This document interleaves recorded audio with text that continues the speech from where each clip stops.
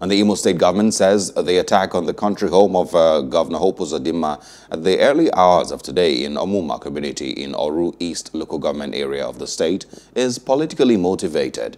Plus TV Africa spoke to some residents in the area. The, th the truth of the matter is that people are scared and people are, we are running away. Mm. So all of a sudden we saw so many people that they are, they are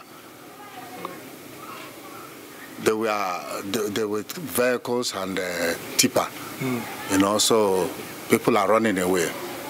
So the next thing, they drove in in hopes and they use uh, th those tipper to hit the gate and to come in there. So that is what really happened. They said people came to our governor's house to burn down this house. So I have to take cover. So after every, on my way coming coming back to my house because I live, this is my house.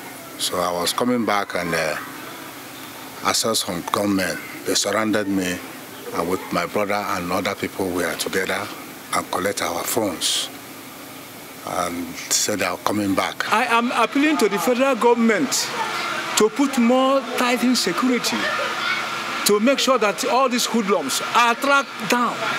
Because, you see, from Mbakwe to even the last governor, we don't see this type of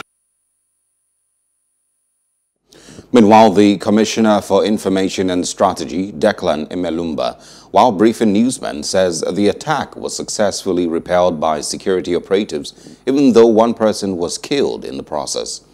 Even though the identities of the hoodlums has not been revealed, the state government is pointing accusing fingers at desperate politicians who had earlier promised to make the state ungovernable.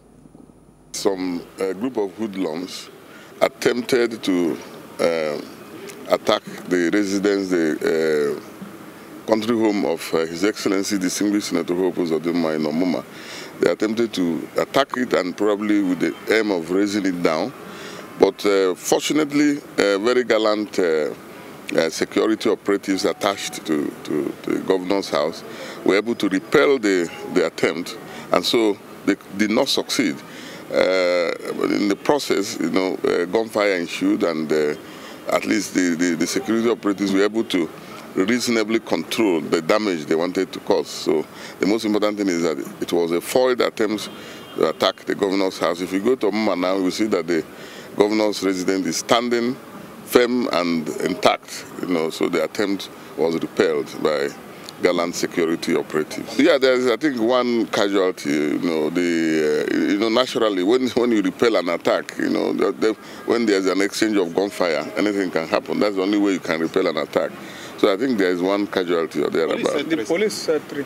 Well, I'm talking. I'm not talking for the police. I'm talking of the information I have. Maybe one or two. I don't know. But I think that what I know is that there are a few casualties. You know, uh, preliminary uh, investigations point to the fact that the thing was politically sponsored. Politically sponsored. So, but no conclusions yet.